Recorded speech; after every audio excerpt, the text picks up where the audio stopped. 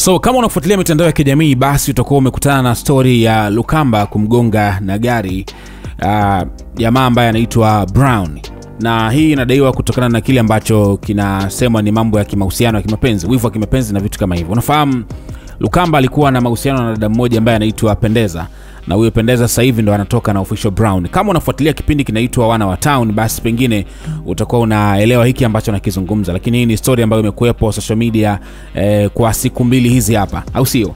Sasa kilichotokea sasa hivi kwenye peji ya Instagram ya Lukamba, watu wengi wamekwenda kumshambulia kiukweli, kwa sababu yeye mwenyewe hajasema chochote toka hii ishu imetokea, na alichokifanya dakika chache zilizopita, aliweka tu picha hii kwenye peji yake ya Instagram bila caption yoyote ile and then hapa kwenye comments watu wengi wanamshambulia kutokana na hili tukio ambalo jamaa anadaiwa kulifanya.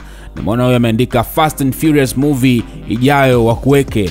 Mwingine ameandika sasa hivi wakupe heshima sasa, wasikuzoee mabisho, wewe ni muhuni bisho. Mwingine ameandika punguza kushindana na demu wewe.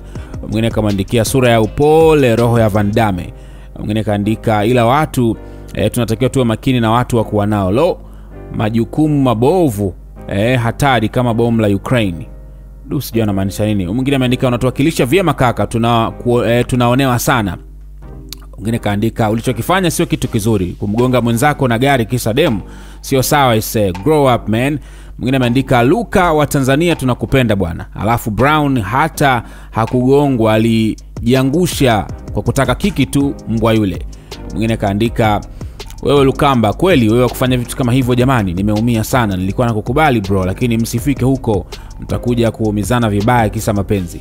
Mwingine kaandika nakukubali bro, hujawahi kosea, lakini kwenye hili hapana, wewe umefanya vitu ambavyo havifai. Mwisho wa siku utakuja kupata kesi kaka, tunakupenda, achana na haya mambo ya ugomvi.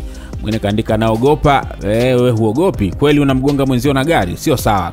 So ni baadhi ya watu ambao wanapita hapa e, kwenye sehemu ya comments baada ya Lukamba kupost picha na hajaandika caption yoyote ile. Hii ni kwa sababu ya